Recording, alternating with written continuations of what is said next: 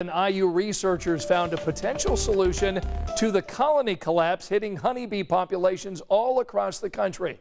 Tonight, our Rachel Kraus shares how this could be a game changer for all the foods that we love and rely on. In a quiet field outside Bloomington, IU researchers check in on their honeybees. So what we're looking for right now is brood, and that is the developing larvae. Monitoring the health of the colony. Oh, look at that forager with the pollen basket. IU PhD candidate Audrey Parish and Dr. Irene Newton are studying ways that stressors impact honeybees and how providing nutrition could help.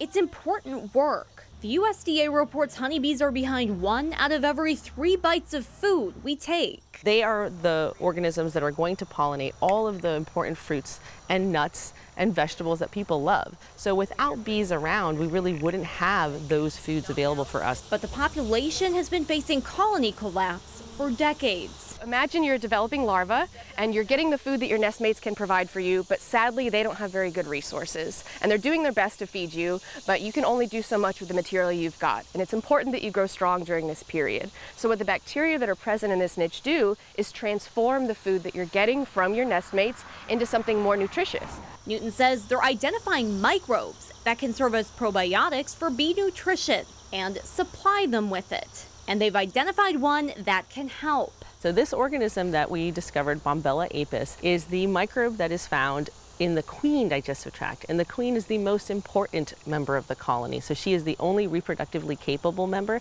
She's in charge of laying all those eggs to bring up the next generation of bees. Now their team is working to identify the best strains of Bombella apis to provide to larvae inside those honeybee colonies offering key nutrition early on to reduce stress and bolster populations. It's even so easy that we could give you Bombella apis and you could put it in sugar water and just set that sugar water outside of a colony and the workers are going to bring that sugar water in and the Bombella is going to make it into the important niches most likely because they're feeding it to all of the larvae as soon as they receive it. Newton says they're excited to develop this as an intervention for beekeepers. Giving them a supplementation that is not only going to improve the health of their colonies but cost them no additional time time is pretty groundbreaking and it's something we're really excited about.